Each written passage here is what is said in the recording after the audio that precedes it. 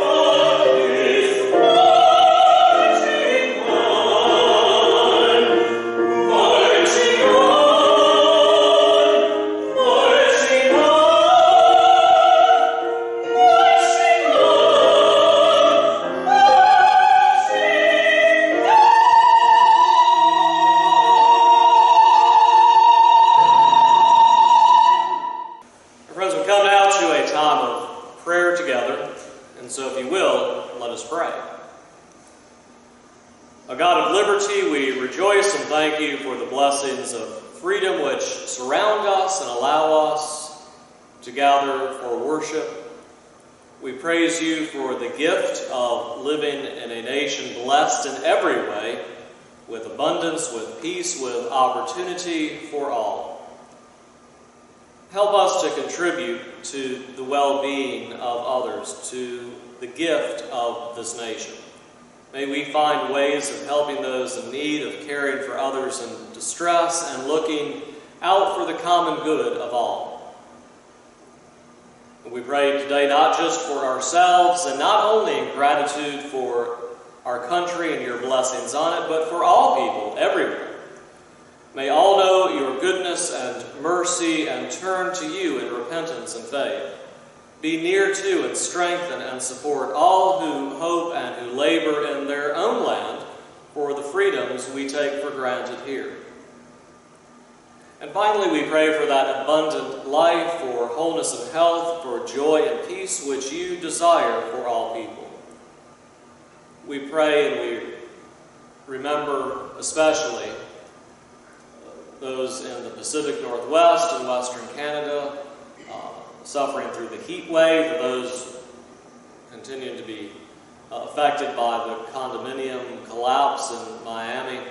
Uh, we pray for the persecuted church in Nigeria and for people who suffer for the sake of conscience anywhere.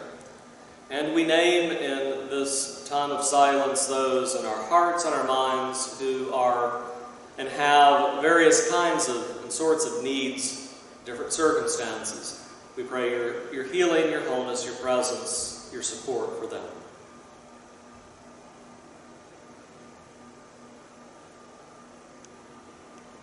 And so, eternal God of all nations and peoples, we pray that that day would speedily arrive when your will is done on earth as it is in heaven.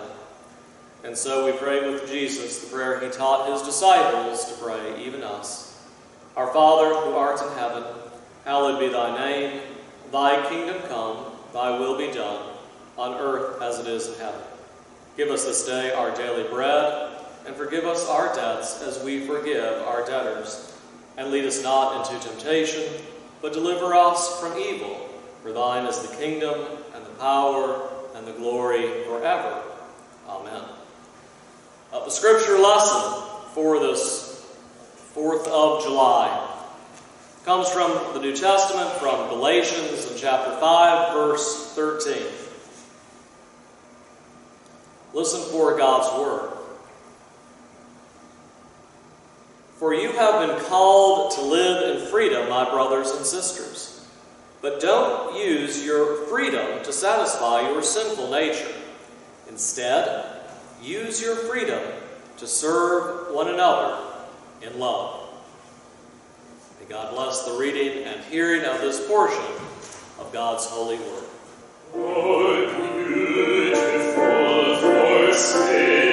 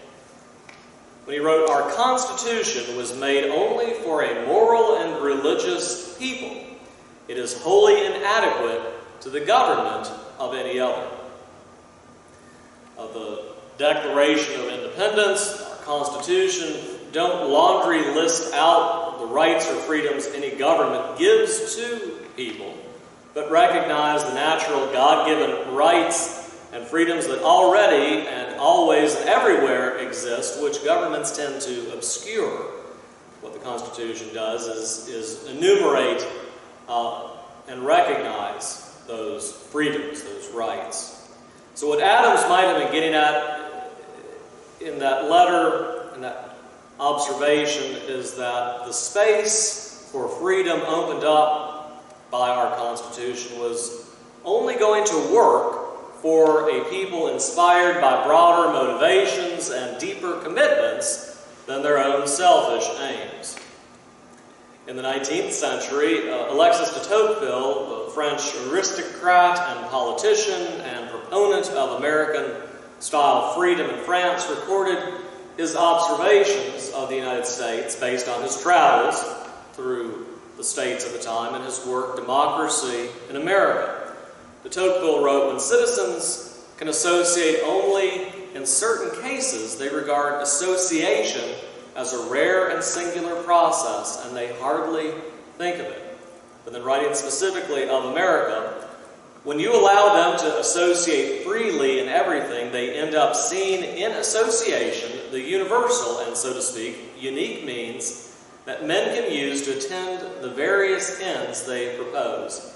Each new need immediately awakens the idea of association The art of association then becomes, as I said above, the mother science. Everyone studies it and applies it. De Tocqueville offered his witness an assessment of the massive energy and interest behind the plethora of associations that sprang up in the years following the successful resolution of the American War for Independence. Associations which were aimed at improving the circumstances spiritually and materially of fellow citizens.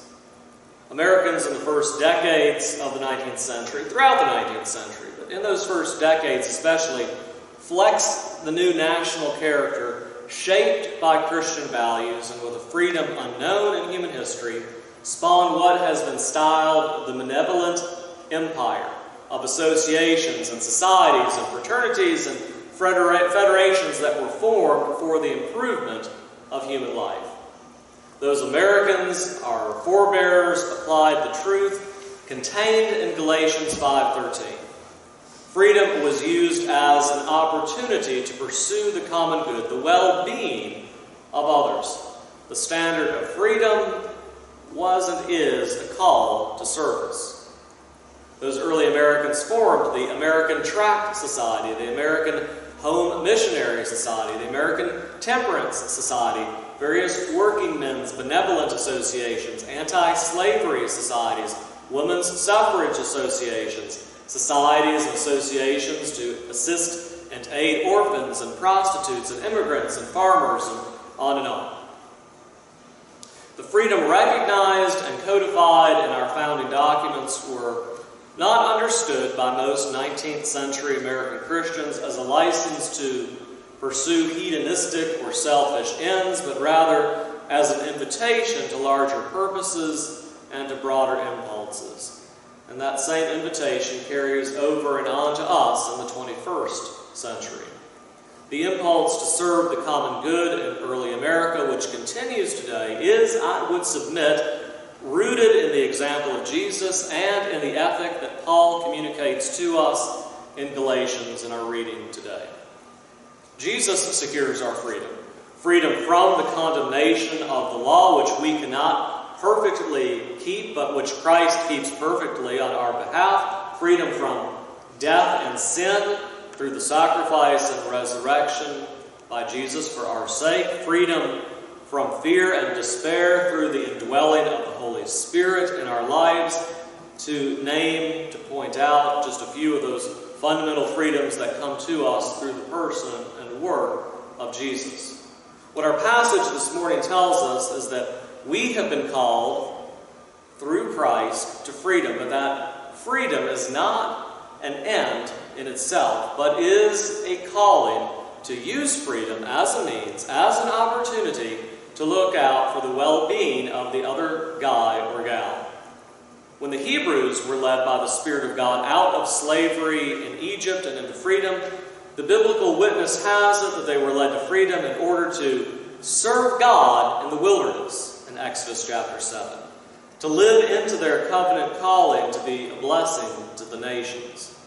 We have freedom for something, not just freedom from something. We have freedom to be and to become. We have freedom to inquire and to confess our convictions. We have freedom to seek the happiness of others. Freedom leads us naturally into community, into the bonds of fraternity with those around us, with our fellow Christians. And as I say, it's no different uh, today than it was in the 19th century. Uh, Christian faith inspires and motivates and impels service to others, uh, both on, by, by, those who have Christian faith and by those who don't necessarily uh, have faith or affiliation uh, with a Christian church, but uh, in whose hearts and minds a Christian faith and its ethic continues to redound and to echo.